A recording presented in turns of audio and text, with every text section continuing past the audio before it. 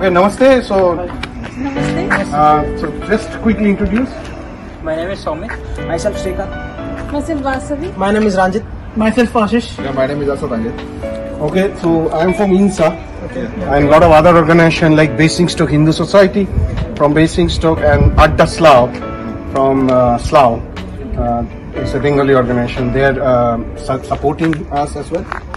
So INSA in the Indian National Student Association. So quickly want to understand how, what kind of problem you faced, how you got help from INSA, uh, whether in the call center, etc.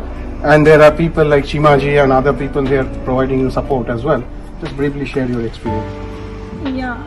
Uh, like uh, after coming to UK, uh, like it is very difficult to us regarding this pandemic.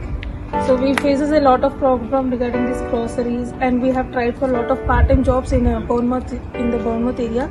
Due to this pandemic, we are not able to get the part-time jobs also, and we are not able to get the uh, amount from India also on time uh, due to this pandemic. So INSA is providing a lot of help for the Indian students, which is very helpful for the students like us. So we are getting like groceries and everything. And I'm very thankful to INSA and other that uh, Basingstoke Hindu and Society. Hindu Society and, And uh, Adda Slough. Adasla. So thank you for all your support at this uh, critical situation. So we are like your family. Yeah. We'll create a group. So join the group, Yeah. and hopefully in future these things will be over. And INSA as a student body you will be having chapter in your uh, uh, university and work uh, together. Yeah, sure. Okay. Thank you. Thank you for helping us. Wish you guys good luck with all your you studies. You're most welcome.